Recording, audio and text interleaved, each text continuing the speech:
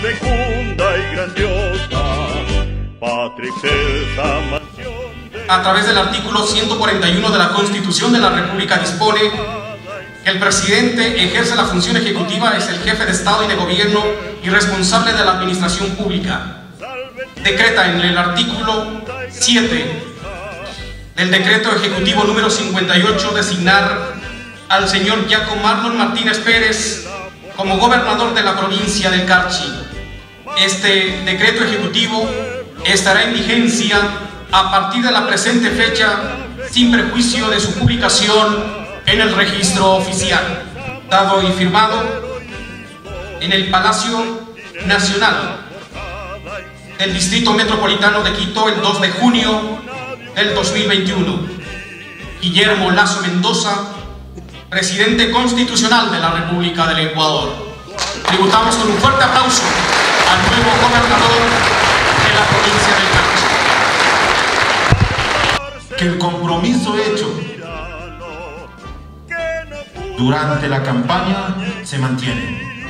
Ténganlo por seguro que ese compromiso hecho por nuestro presidente de la República y hoy con su delegación a mi persona para ocupar tan digna representación, decirles que el plan de vacunación para los 9 millones de ecuatorianos está en marcha.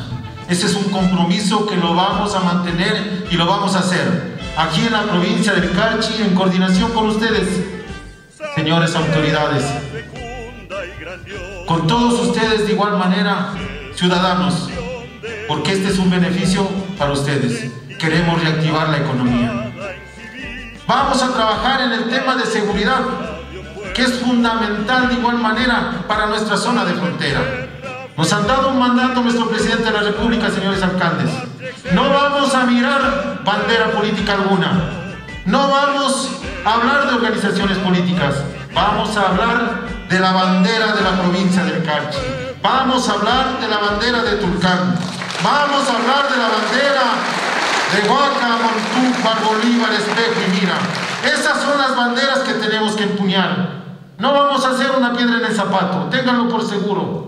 Tenemos que hablar de unidad y esa unidad empieza por casa. Y si nosotros estamos al frente, vamos a dar el ejemplo. Vamos a coordinar todas las acciones con ustedes, señores alcaldes. Vamos a coordinar las acciones con el señor prefecto y la señorita viceprefecta, con los 26 presidentes de las juntas parroquiales.